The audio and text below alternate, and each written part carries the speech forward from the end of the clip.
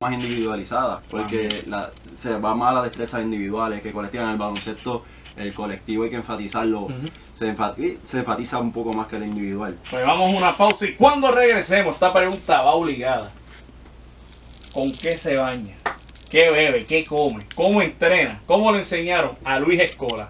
Yo pensaba que Luis Escola iba, ¿verdad? Al equipo como parte de ese roster. Juega regular y mete la bola en doble dígito. Así que cuando regresemos, tenemos el tema de Luis Escola y el Mundial de Baloncesto. ¿En dónde más? En, en tu zona. Deportiva. Y regresamos en tu zona deportiva. Óigame, todos los viernes con los grandes eventos y atletas de calibre mundial de 7 a 8. El programa número uno en deporte en Puerto Rico. Como dice el eslogan, porque aquí los números no mienten, Mienten. Jorge. Eso así. Hoy tenemos, y sintonizó ahora, tranquilo, tranquila, cuando terminemos. Si usted va en su carro, cuando termine, ¿verdad? Llega a su casa y termine el programa, usted va a WIPR o en tu zona deportiva PR o al Club de la Zona en Facebook Live bajo la aplicación de Facebook.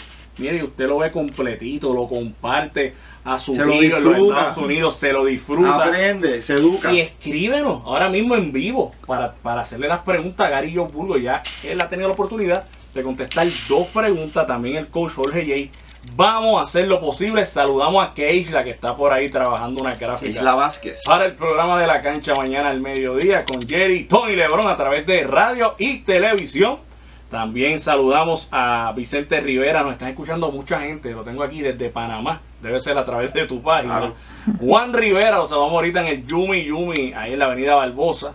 Hoy no, pero la semana que viene me llevo a José Luis para que le prepare una papa loca, porque José Luis tú lo ves flaco, pero come como el padre. Como limatón nuevo. Eso es así. Y González, mi hermano también. Recuerden que si compartes el programa, Juan Vélez, mañana estás con nosotros en IWA Golpe de Estado, Coliseo Mario Quijote Morales, Guaynabo, Puerto Rico. Te llevamos a WWL, te llevamos al Festival de Carros Antiguos, te llevamos a los Cangrejeros de Santurce. Te hemos llevado a grandes eventos y ahora es IWA. Y la semana que viene tenemos un invitado que ha estado en Europa, en Estados Unidos. Mira, voy a decir algo más, colegial. Selección de Puerto Rico, una superestrella aquí en los estudios y me están preguntando que si las bolas que están ahí de baloncesto eh, es imitation, no, ahí está la bola oficial de Chile. Una de ellas, porque ellos tienen, ellos tienen varias, ellos tienen otro formato, tenemos de- pero sí claro, tenemos de diferentes, eh, eh, ¿verdad? De diferentes torneos. Tenemos la de, esta la firmó Raymond Dalmau, la Sí. primera, y la, la, ¿verdad? la que está ahora la oficial de China 2019. Saludo también a Henry López, nos están viendo en Aguada. Mis amigos son muchos y quiero aprovechar a Garillo Burgo, pero gracias.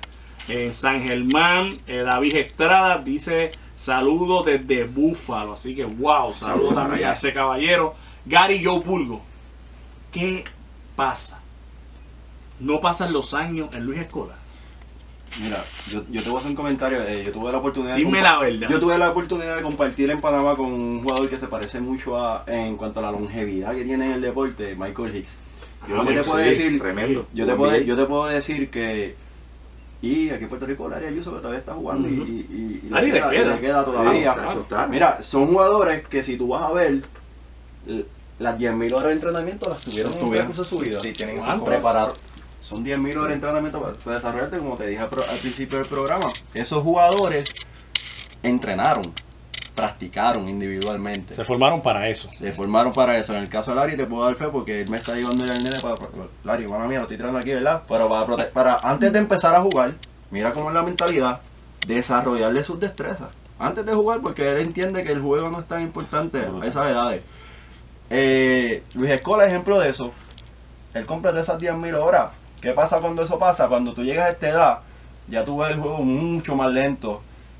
Siempre y cuando tú mantengas una buena alimentación, eh, mantengas unos buenos hábitos de entrenamiento, cuides tu cuerpo. Y con los avances tecnológicos que hay ahora, con las células madre y demás, pues estos jugadores duran más, ¿verdad? Quiero hacer un alto, este Gary, porque el tiempo ya son las 40 y tiene una pregunta para Jorge J. Henry López pregunta que por qué los jugadores aquí insisten o venir en ir a ser becado a Estados Unidos y no a Europa donde se ve un gran nivel de baloncesto. ¿Esto tiene una razón? Bueno, la razón es la, la facilidad que tiene el atleta de desplazarse de Puerto Rico hacia los Estados Unidos versus La logística. para Europa. Es una cuestión de logística, es una cuestión de lógica. Las comunidades este, hispanas y en especial las puertorriqueñas en el área de la Florida Central, en el sur de la Florida, pues hacen que eso sea bien fácil para un jugador que se traslade de aquí para allá en vez de para, para Lituania. ¿Piensas igual, Gary? Sí, eso es fácil. Eh, Dímelo. ¿Qué tú ves? ¿ESPN o el canal Europa de baloncesto?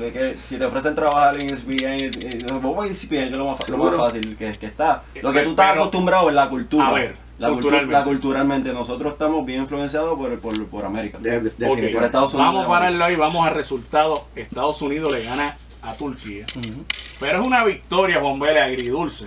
Porque tuvo la oportunidad Turquía cuatro veces, o sea, cuatro tiros corridos, dos veces, de llevarse la victoria. Sí. La desperdiciaron, como dicen en Lloren Torres, Sí. en mi barrio.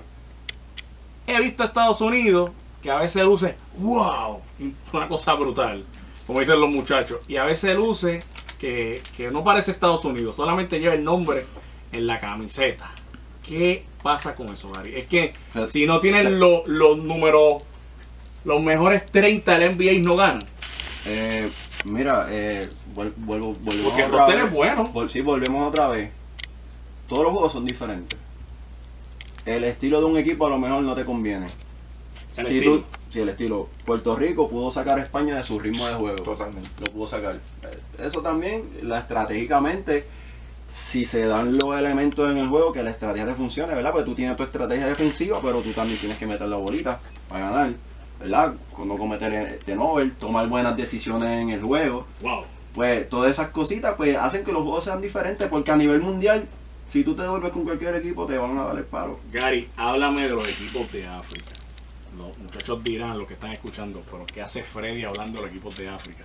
Han mejorado un mundo. Yo veo que siguen mejorando año tras año. Todavía no al nivel de los primeros, vamos, los 8 del mundo, 10, pero se nota un cambio. ¿A qué se debe? mira ahí tiene que ver mucho FIBA porque FIBA está ayudando mucho a estos países que no tienen los recursos ni los recursos técnicos ni los recursos de facilidades verdad para desarrollar el juego porque FIBA está buscando levantar el juego a nivel global Eh, la competencia de FIBA el NBA, aunque el NBA está colaborando con ellos, pero FIBA quiere levantar el baloncesto, así como eh, está el balonpié, y la forma de hacerlo es pues asistiendo a estos países, ¿verdad? Donde la, gene- la genética está, el, el atletismo está eh, natural, y, pero no tienen los recursos, pues se entrenan a los coaches, educación, Eso. Facilidades. Que yo entiendo que aquí en Puerto Rico hablan que si no es hombre alto, mira, que hombre alto con lo que tenemos podemos lucir bien a nivel.